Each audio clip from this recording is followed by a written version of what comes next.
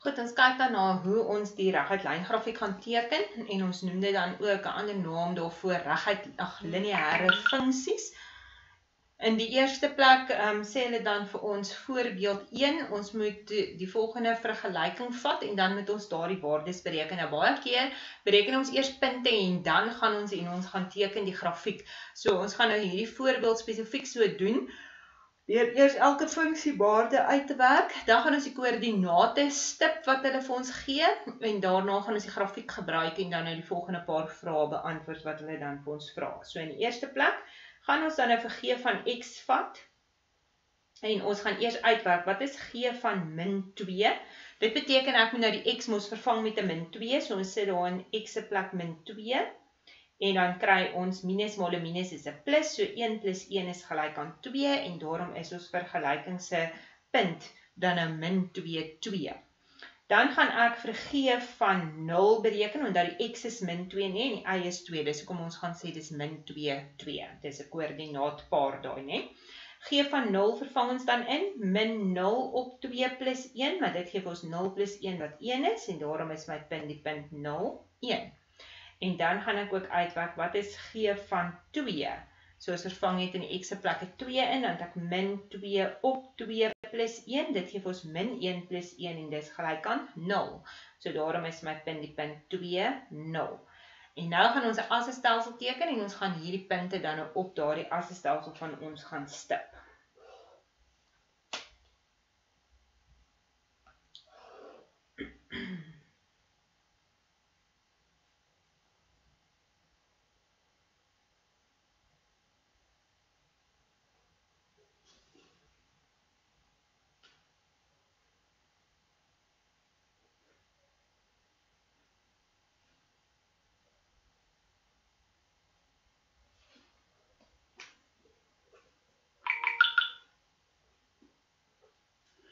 Goed, die eerste punt wat ons dan nou moet teken is by min 2 2. So x is min 2 en die y waarde is 2 en ons stip ons punt dan daar.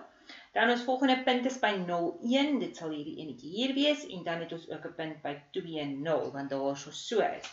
En nou teken ons 'n reguit lyn deur daardie drie punte en dit vorm dan vir my my grafiek g van x wat hulle dan nou vir my gegee het. Goed, so dis nommer A en B. By C vra hulle nou, ons moet die grafiek gebruik en dan moet ons die waarde van g van min 4 bepaal. Nou as ek g van min 4 wil bepaal, beteken dit ek moet gaan kyk as x min 4 is, wat is my y waarde? So ek gaan nou op my grafiek na min 4 toe op die x-as, dan gaan ek na my grafiek toe beweeg met my ehm um, met my lyntjie En dan gaan ek na die y-as toe en ek gaan lees af wat is die waarde van die y-waarde wanneer die x min 4 is. So as die x min 4 is, dan is my y-waarde daarso gelyk aan 3. So ek kan dan net sê dis gelyk aan 3. Dit is net 'n aflees van die grafiek af. By hulle gebruik die grafiek en bepaal dan vir x as g van x gelyk is aan min 1. So nou gee hulle vir my, onthou daai beteken y. So die y is nou minus 1. Wat is die x? So nou gaan jy by min 1 hierso op die y as en jy gaan na jou grafiek te beweeg. En jy gaan op met jou lyntjie na jou x as toe en jy lees af wat daai x waarde is en ons kry die x waarde is dan 4 as die y waarde min 1 is. So ek skryf net my antwoord neer x is gelyk aan 4. En dan vra hulle vir ons by e, ons moet die definisie en die waardeversameling van hierdie grafiek van ons gee. Nou as jy nou gaan kyk na die definisieversameling, onthou dis alle x waardes waarvoor die grafiek gedefinieer is. Nou omdat die grafiek geteken word met pile aan, beteken dit hierdie x waardes gaan tot by min oneindig en daai tot by plus oneindig.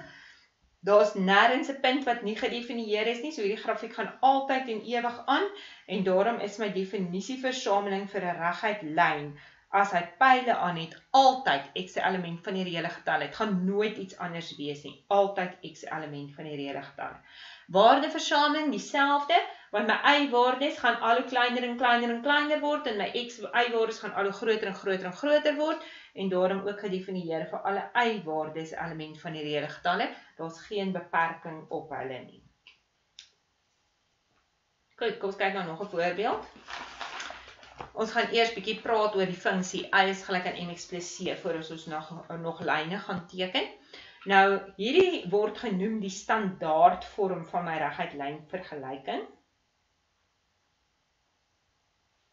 En voordat ons lyne teken, skryf ons gewoonlik eers ons lyn in standaard vorm. So y alleen aan een kant en al die ander aan die ander kant. Nou wanneer hy in standaard vorm is, dan staan die m vir die gradiënt of die helling van die grafiek. En dit beteken met ander woorde as dit die gradiënt of die helling van die grafiek is, dan beteken dit en dat dit vir ons die rigting van die lyn gaan af aandui. So as m groter as 0 is, dan is jou rigting altyd in 'n noordoostelike rigting.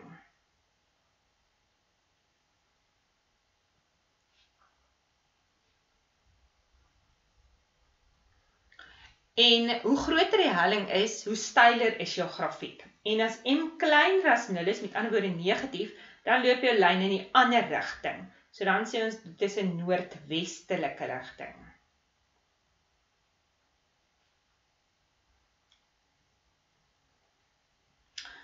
En dan as m groter word is die helling steiler of is die lyn steiler. So dit beteken met ander woorde, die helling dui die steilte van die lyn aan. So groter jou m is, hoe steiler is jou lyn. Dan doen die C sê vir jou dis die y afsnit van die grafiek en dit sê vir jou waar sny die grafiek die x-as.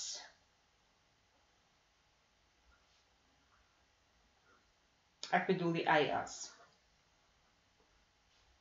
So dit is waar die grafiek die y-as gaan sny, daai c-waarde daar aan die agterkant. Dis slegs wanneer hierdie lyn in standaardvorm is wat jy hierdie afleidings kan maak. Goed, dan verder moet jy onthou die x en die y wat jy daar sien, dit is net getalle pare op jou lyn.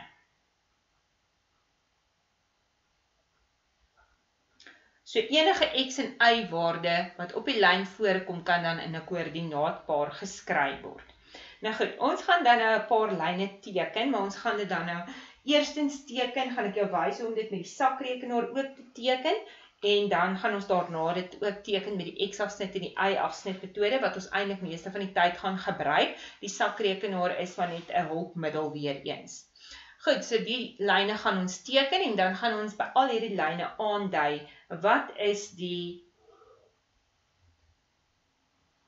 ehm um, y-afsnit van elke grafiek en ons gaan ook aandui wat let ons op oor die gradiënte van elke grafiek. So dit is al die vrae wat vir jou gevra word daar.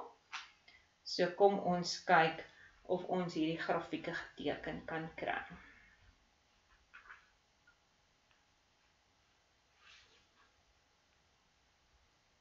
Jy het eintlik net twee punte op 'n grafiek nodig as jy 'n reguit lyn wil teken. So twee punte sal voldoende wees.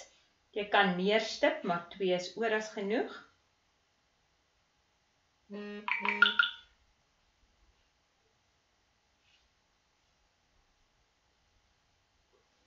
Goed, ek teken sommer net so as 'n stelsel en ons gaan dan nou heel eers teken vir y gelyk aan x. Nou, as jy jou sakrekenaar vat, gaan jy vir my jou sakrekenaar um, stel en jy gaan vir my heel eers druk op jou sakrekenaar mode. Dan gaan jy vir my na jou table mode toe. Dan as jy die table mode klaar gedruk het, dan gaan hy vir jou vra wat is f van x. Dan tik jy vir my in wat f van x is. Nou as ons dit intik sal jy sien daar is 'n uh, 'n x hier. So myne is nou nie heeltemal soos jou sakrekenaar nie, want jy gebruik nou heel waarskynlik die um die Casio, maar die x sit hierso by um hierdie knoppie net so bokant 8 omtrent. Daarso sal jy 'n x sien daar maar dit is 'n groen X. So dit beteken of 'n of 'n ander kleur X op joune, maar dit beteken jy moet druk alfa en X. So jy gaan nou net op jou sakrekenaar intik alfa X. En dan gaan jy sê is gelyk aan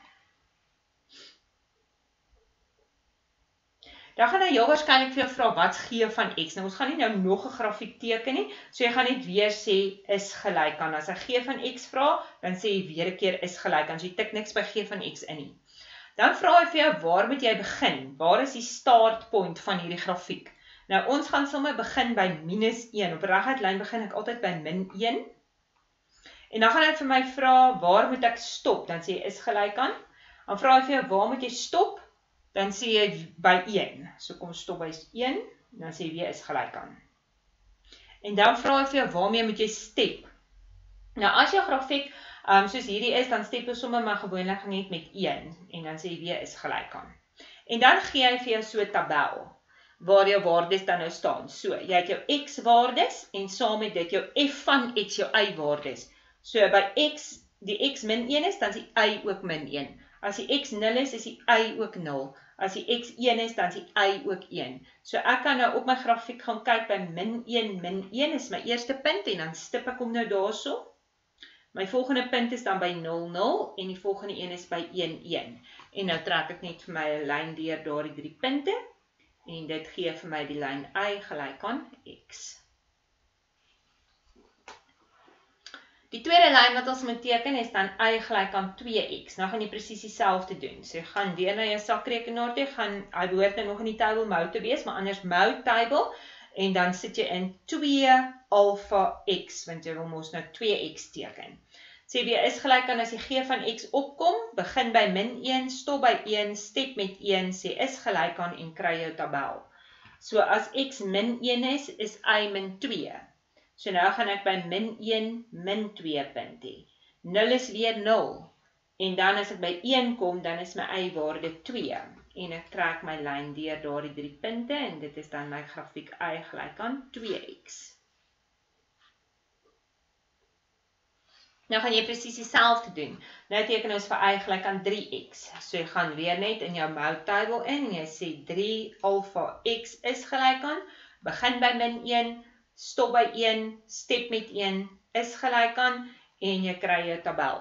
As x min 1 is, is y min 3. As x 0 is, is y 3, 0. En as x 1 is, is y gelyk aan 3. So min 1, min 3, 0, 0 en 1, 3. En ek teken my lyn dat hy weer die drie punte loop en dit is my lyn y gelyk aan 3x. En dan het ons nog eigenlijk een halve x tekens. En nou sit jy op jou sakrekenaar in. 'n half x alpha x. Pas op net dat die x nie saam met die 2 onder die lyn is nie. Begin nou by die noemer. Kyk na jou noemer is 2. So begin by die noemer se getal wat min 2 is en jy stop by plus 2. En dan step ons nog steeds met 1. So as ek met 1 step of jy step met 2 askies. As jy by min 2 begin en jy stop by 2 en jy step met 2, dan kry jy met ander woorde by min 2 is my antwoord min 1. Dan het ek weer 0 0 en by 2 is my antwoord 1. So ek kan my lyn gaan teken deur daardie drie punte en dit is my lyn y is gelyk aan 'n halwe x. Goed, en daar is my vier grafieke. En nou vra hulle vir my by die eerste een, wat let ek op oor die y-afsnit van elke grafiek? En jy sal sien al die y-afsnitte is 0. Hoekom? Want my vergelyking is mos y is gelyk aan mx c. En wat is c? C is die getal hier agteraan. sien julle oral by hulle staan plus 0, plus 0, plus 0, plus 0. En dis hoekom die y-afsnit by almal 0 is. So my y-afsnit is gelyk aan 0 by al die grafieke. En dan by B vra hulle vir ons, wat let ons op in verband met die gradiënt van die grafieke? Nou kyk 'n bietjie. Hierso het jy eintlik aan 1x, 2x, 3x. So groter jou gradiënt word, hoe styler word jou grafiek. Het jy 'n halwe x, hoe kleiner die gradiënt toe, laer of minder styl is jou grafiek en dis wat ons nou net gesê het. So hoe groter die gradiënt,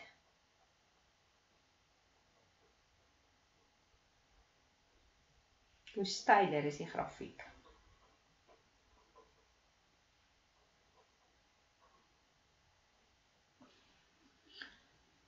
Goed, kom ons teken nog 'n paar. Ons gaan nou vir 2x, 2x plus 4 en 2x minus 4 op dieselfde as stelsel teken. Ek gaan dit nie weer met die sakrekenaar nou doen nie. Ons gaan dit nou doen met die y afsnit x afsnit metode. Want hulle vra gewoonlik vir jou wanneer jy grafieke teken dat jy alle afsnitte met die asse duidelik moet aantoon. So kom ons kyk na ons eerste grafiek wat ons gaan teken. Y is gelyk aan 2x. So wat ek gaan doen is, ek gaan eers kyk na wat is my x afsnit en ek kry dit deur y 0 te stel. So 0 is gelyk aan 2x beteken x gaan 0 gedeel deur 2 wees wat 0 is. En ek bereken my y afsnit deur weer vir x 0 te stel. So y is gelyk aan 2 maal 0 en dis 0. So my x afsnit en y afsnit is albei by die punt 0 0. Nou dit beteken ek kan nou nie 'n lyn daar teken nie want ek het net een punt. So ek moet nou vir my nog 'n punt kry wat ek kan instel sodat ek nog 'n punt het om te kan stip. So ek kies altyd vir x gelyk aan 1 en dan stel ek hom net in my vergelyking in. So y is 2 maal 1 is 2. Dit beteken 1 2 is 'n punt wat ek kan stip. So by 1, 2, daar stip ek dan nou my punt en ek teken dan my lyn dat dit deur daardie twee punte gaan. So daar is die lyn y gelyk aan 2x. Goed. Die tweede punt wat ons op die tweede grafiek wat ons moet teken, is dan y gelyk aan 2x 4. Right, so kom ons gaan kyk na syne bereken eers my x afsnit. So as my x afsnit wil hê, maak jy altyd vir y 0. 0 is 2x plus 4. Vat die 4 aan die ander kant te oor, kry min 4, deel met 2 om vir x te kry, so x is gelyk aan minus 2. Dan soek ons die y afsnit, so as ek die y afsnit wil hê, dan maak ek vir x 0. So y is gelyk aan 2 maal 0 plus 4 en dit gee vir my 4. Dit beteken ek het die punt min 2, 0, dis my x afsnit, en my y afsnit is by 0, 4. So ons gaan nou punt stip by 0, 4, en ek gaan een spin stip by min 2, 0. En ek teken dan my grafiek, dat hy dier daar die punte gaan. En mooi op skool geteken nie, daar loop my grafiek, daar is my punt min 2, 0, en dis my grafiek y is gelijk aan 2x plus 4. Goed, en dan het ons nog teken y is gelyk aan 2x min 4. So kom wil teken, kry ek eers my x afsnit, so ek maak weer vir y 0. As ek y 0 maak, is dit 0 is gelyk aan 2x min 4. Van die min 4 aan die kant oor word 'n plus 4 en ek deel met 2, so x is gelyk aan 2.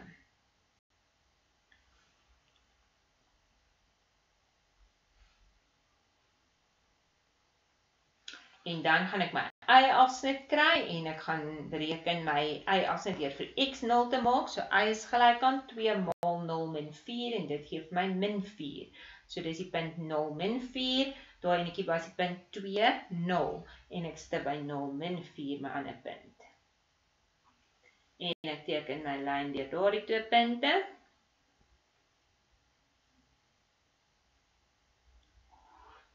en dit gee dan vir my my lyn y gelyk aan 2x min 4. As jy nou na jou drie lyne gaan kyk wat jy geteken het, dan sal jy sien hulle is almal ewewydig aan mekaar. So wat let jy op in verband met die grafieke? By B kan jy dan skryf lyne is ewewydig want die gradiënte is gelyk. Elke van hierdie gradiënte is mos 2. 2x, 2x plus 4, 2x min 4. So al die gradiënte is gelyk en daarom is die lyne ewewydig aan mekaar. Goed, ons laaste voorbeeld waarna ons gaan kyk is wanneer ons nie 'n helling het nie, wat doen ons dan met ons grafiek? So by al die ander het ons nou hellings gehad. Hierso is nie hellings nie. Dit beteken met ander woorde, dis nie 'n skynslyn nie. Nou kan die lyn horisontaal of vertikaal wees. Dit hang net af van wat jou vergelyking is.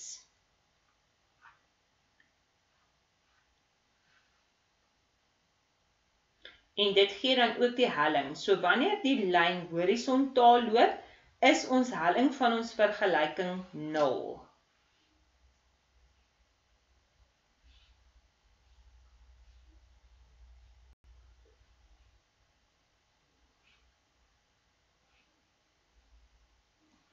Goed, so horisontale lyne se hellings is 0. Dit beteken met ander woorde, y is gelyk aan c. So jy het nie 'n m nie, m is 0, so m maal x is 0, plus C en daarom kry jy net y is gelyk aan C. So as jy die lyn y gelyk aan C kry, het jy 'n horisontale lyn en al wat jy dan doen is jy kyk waar sny die lyn die y as. So as daar staan y is gelyk aan 4, beteken dit hy moet die y as by 4 sny.